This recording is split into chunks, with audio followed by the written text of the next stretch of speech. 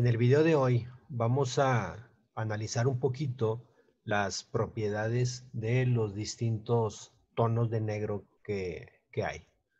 No todos, en este caso yo voy a analizar los que yo utilizo. El negro de marfil procuro no utilizarlo. Este, soy más, más de utilizar el negro de humo o en su caso el negro de Marte o el gris painé. Ah, vamos a empezar por un análisis de la densidad de cada uno de, ellos. Están acomodados conforme a mayor densidad. El, negro de Marte es el más denso de todos y luego le siguen eh, de aquí hacia abajo el, el, negro marfil, luego el negro de humo y luego el gris painé. ¿A qué me refiero con densidad? La densidad es la carga de pigmento que tiene o trae, que tiene o contiene la, el, envase de pigmento en comparación con el aglutinante. Se lo voy a poner bien fácil. Vamos a hacer una, vamos a revisarlo, miren.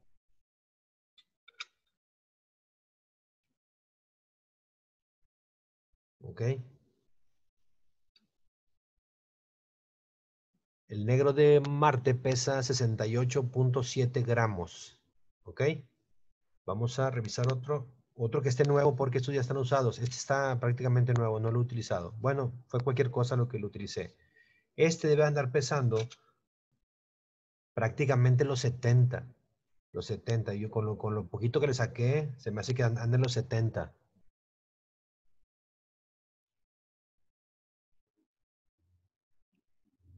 Vamos a compararlo con este otro que está prácticamente nuevo.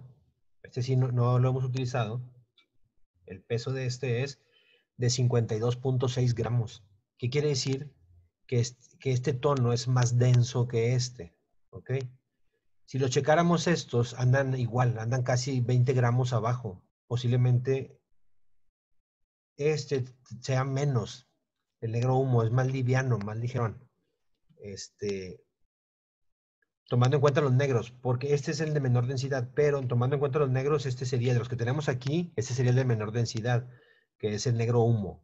Entonces, ya, ya eh, entendimos, o bueno, ya más o menos vamos razonando a qué nos referimos cuando decimos que es un color, que un color es muy denso o es más denso que otro. Entonces, dentro de los pigmentos, para empezar, ese sería una, un punto importante a valorar dentro de un pigmento de un tipo de negro con otro, por ejemplo.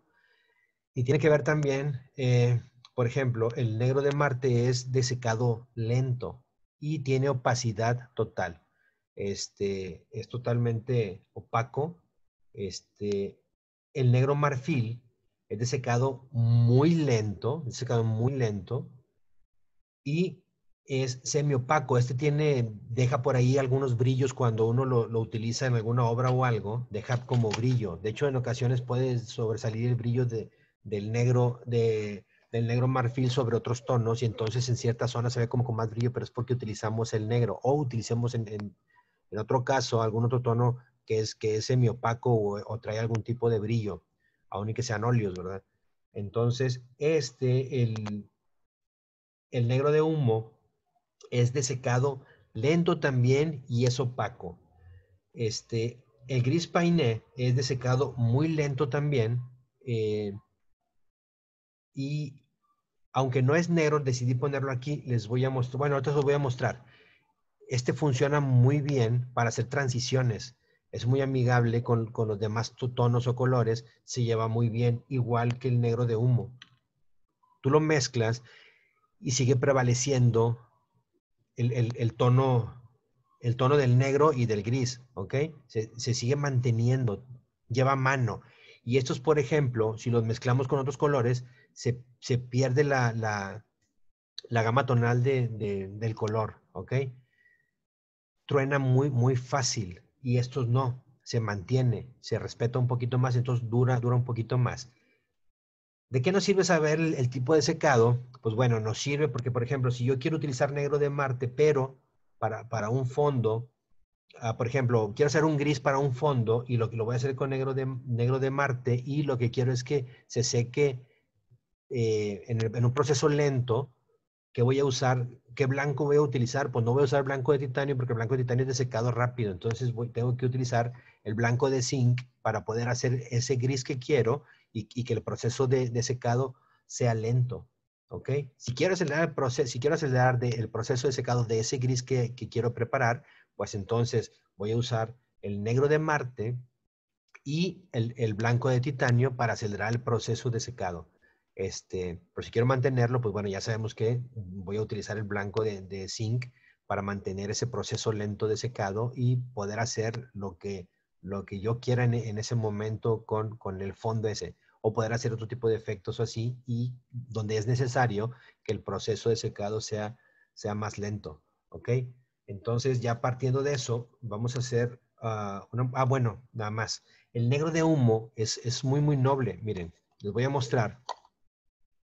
Este prácticamente es carbón molido del de, cuando hacemos carne asada y estas cosas, este, agarras el, carbón, lo mueles y este, con este, con este carbón, o sea, o con, con este, con ese carbón triturado, podemos hacer nuestro, fabricar nuestro óleo, este, negro de humo, utilizando aceite de linaza, ¿verdad? Les voy a mostrar el que, el que preparé ahorita hace rato, preparé uno, este, mi propio negro de humo, déjenme se los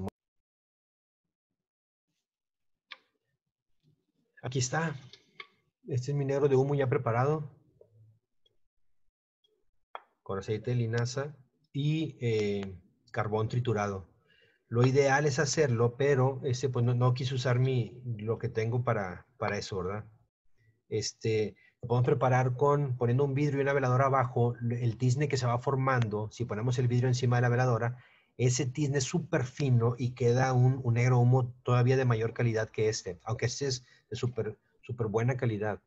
Aquí este ya lo mezclé con, con, con rojo y se sigue manteniendo el tono, ¿se fijan? Este lo mezclé con amarillo y sigue prevaleciendo. De hecho, aquí está la marquita todavía del amarillo un poco. Este, sigue prevaleciendo el tono, el tono muy oscuro. ¿Ok? Se va muy poquito al verde, pero sigue prevaleciendo el, oscuro. Entonces, este negro de humo ya lo, ya lo preparé yo. Pero, pues bueno, lo venden ya, pues claro, ¿verdad? Ya, ya envasado pero pueden practicar haciendo sus propios pigmentos. Este al menos que es súper fácil de obtener el, pigmento nosotros mismos y fabricarlo y que hagan pruebas y que vean qué tan amigable es con los demás o compatible con los demás tonos o colores. Bueno, vamos a continuar con el siguiente ejercicio así rápido para al final mostrarles cómo prepararlo el, negro neutro, eh, negro frío y negro cálido. Eh, aquí puse negro de Marte, negro de marfil, negro de humo y gris painé. Aquí puse la misma cantidad o muy aproximada de blanco y también de rojo, algo ahí parecido. Vamos a ir haciendo mezclas de color por color para que vean cómo reacciona cada negro con los diferentes o los distintos tonos. Lo voy a hacer súper rápido. ¿okay?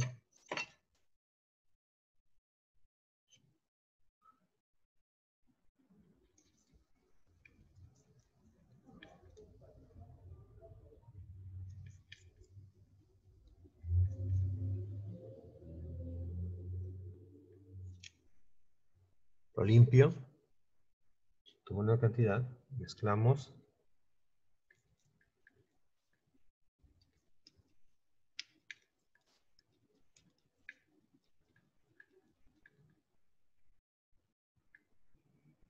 Limpio.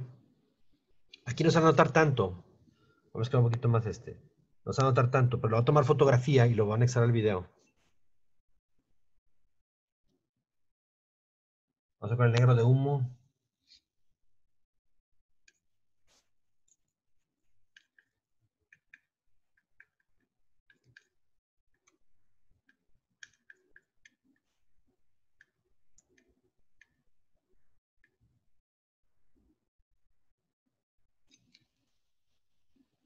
Aquí no se alcanza a notar, pero ya cuando tome la foto van a, van a lograr ver que estuve haciendo más o menos la misma, la misma proporción y el que se ve más oscuro de todos es el negro humo. Lo que les decía ahorita, sigue manteniendo la gama tonal. El, negro de humo es el que se ve más oscuro a la mezcla en proporciones parecidas con el blanco. Este se ve todavía más oscuro que todos los demás. El, gris painé se va, a tirar al azul, pero de cualquier forma, les decía yo, quiero, quería que lo vieran el uso porque después van a poder ver eh, si le pueden sacar utilidad a este gris. Está muy padre. Si lo ponemos solo, por sí solo, es un gris, en la, gráfica sería un gris 70%.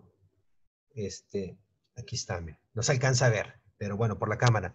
Pero tomar, voy a tomar foto de esto y lo voy a subir y van a ver que este es un, ya se convirtió en un gris azulado. Este, el, gris humo en mezcla con blanco es el más negro de estos. Incluso queda más negro todavía que el negro, que el, que el gris que surge del negro marfil y el blanco. Este queda todavía mucho más oscuro. Es un tono muy, muy bonito, muy agradable. Vamos a una mezcla rápido con el rojo.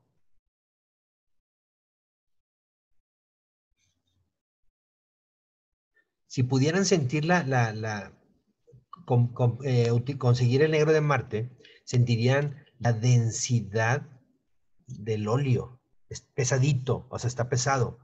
Está muy, muy padre. Es, algo muy, muy, muy padre. Y lograrían ver la diferencia si lo trabajan con la espátula. Se siente. Negro marfil con el rojo.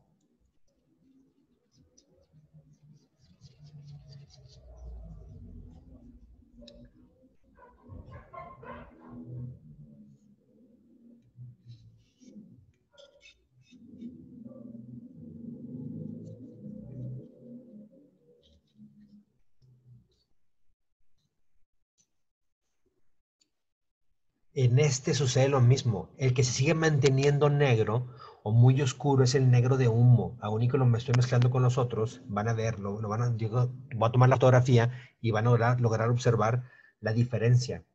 Ahora vamos con el, con el gris painé, con el, con el rojo.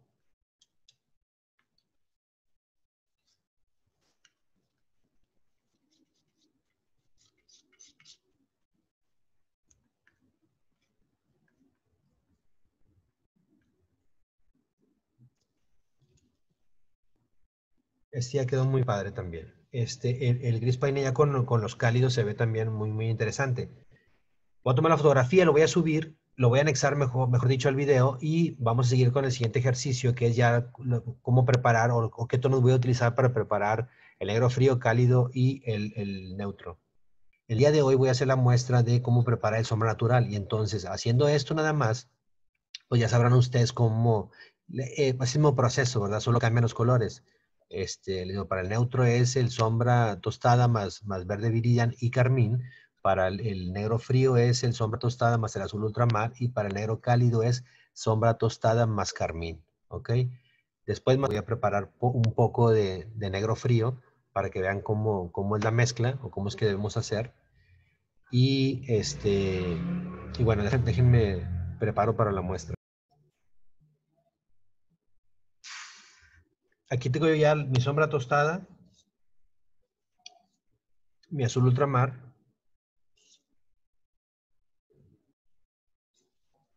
Agarro más o menos cantidades iguales.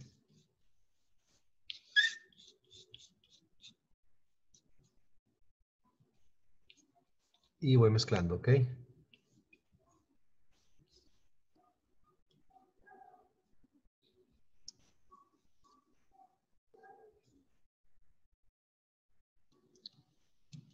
Tal vez no sé si se alcanza a apreciar, tal vez no. Voy a tomar la fotografía también. Pero si se fijan, aquí está, por ejemplo, aquí se ve lo azul, aquí se ve el, sombra tostada, se ve lo, el colorcito marrón y el azul. Y este, por ejemplo, ya se ve este, prácticamente oscuro. ¿Se fijan? Lo barremos, lo jalamos y se ve prácticamente oscuro. ¿Ok? Este sería nuestro negro frío. ¿De acuerdo? Y con nosotros resulta igual, es cantidades iguales, vamos viendo y hasta obtener el, negro que, queremos. ¿De acuerdo? Es una forma rápida y este, digo, en el siguiente video voy a hacer una muestra de, cómo hacer la transición de un negro frío a un cálido y luego ya este, meternos en, algún, en algún, este, algún objeto o algo para que vean cómo es, cómo, es que, que se integra perfectamente bien y de forma natural y no afecta este, a la pieza, ¿ok? Ni el manchado, ni nada, se ve todo muy, muy bien. Este, espero que les, haya servido la, la demostración